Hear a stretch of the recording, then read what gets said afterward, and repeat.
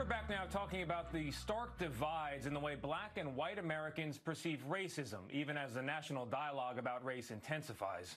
When it comes to applying for a job, for example, one poll said 67% of white Americans believe black applicants have the very same chances. Only 30% of black adults agree with that statement. The results of that disconnect and many others is a crisis of inequality that many white Americans still struggle to describe. Amid our national conversation about racism, we decided to start a few local ones. We're doing a big story about race in America. On the streets of Stamford, Connecticut, we asked white Americans some basic questions. What were you taught about how to treat people of a different race? I don't remember conversations at home about race. We, it just didn't happen. You look at the person, not the color of their skin. And sometimes fielded questions of our own. Do you think you've benefited by being white in America? Of course. Do you? Yeah, I do. Okay. There's two sides to every story. And, you know, We then showed clips of our interactions to Boston University professor Ibram X. Kendi. The CBS News contributor and author of the bestseller How to Be an Anti-Racist helped us pick out patterns. How do you define racism? When one person feels th- that they're better than another person. What is a racist then? A racist is someone being discriminatory against somebody against somebody else's race. Were you surprised by those answers? Oh, not in the least bit. Americans are taught that a racist is an evil, horrible, bad person, that it's in someone's bones, that someone literally is a racist. That's their identity. And so that's not me. I'm a good person. Sometimes our conversation started out easy. How do you define racism? racism is is the unjust treatment of uh, people of a different you know, uh, color, uh, national origin, uh, that is either uh, from uh, face-to-face interaction, but also more importantly institutionalized. And Yet things could quickly grow uncomfortable. You define racism the way you did. Do you fit in that definition in any way? I'm not. I'm. I. I um, I don't hold those views, and, and you know, nor associate with people who do. Most people struggle to explain racial inequality. So the typical black family in America has much less money than the typical white family. How do you explain that? That's that's tough.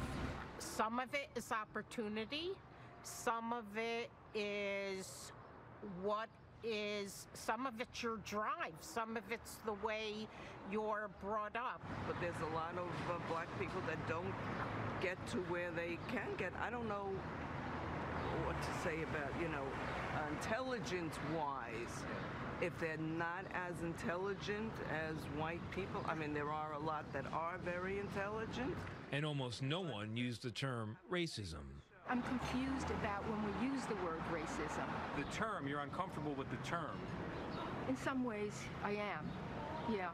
I think what's striking is racist has almost become like the N word. It's like the R word, in which so many Americans think, in and of itself, it's, it's a bad word to say, when indeed it's a descriptive term. It's a term, Kendi says, that could be applied to just about anyone at times. People can have a racist thought, for example. But that doesn't mean they are racist. Yeah, a racist isn't an identity. It is not who a person is, it's what a person is being. And I think we have to uh, recognize that people hold both racist and anti racist ideas, and people are deeply contradictory.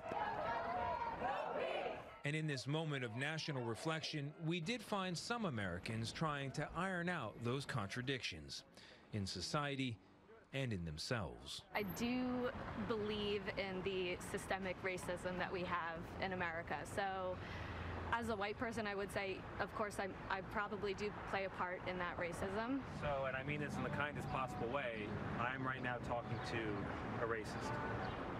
Technically. Although, right, I would never just say I'm racist and I hate people based on the color of their skin. Of course, I would not want to do that.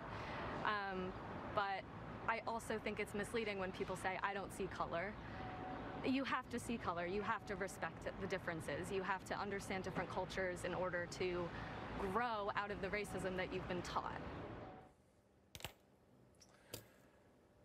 So I think there's a lot there, guys. that we Yes. can Yes, talk there about. is. One thing that leaps out to me is just that you know w- when you define racism as something between people, you leave out society, and if we leave out society, we're never going to change it, Gayle. Yes, I have to say, Tony, I lost my hearing after that one woman said, Well, there are some of them that are intelligent. But what I like, Anthony, is that a white person, white Tony Dokoupil, is talking to other white people. Because I think if a black person had tried to do that, it, it makes people even more defensive and they think it's oh. confrontational. These conversations are so important to And have. And it's very important for white people to ask each other these questions right yes. now. It was It's so int- well done. And the whole issue of racism in that word has white people have a very hard time with it, They and they don't do. understand Yes. it, as Tony pointed out. Yes. Yeah, I, I hate colorblind because, of course, you see color. I'd say color brave or be color conscious, but I hate colorblind. Nope. It's very well done, Tony It Dokoupil. was indeed.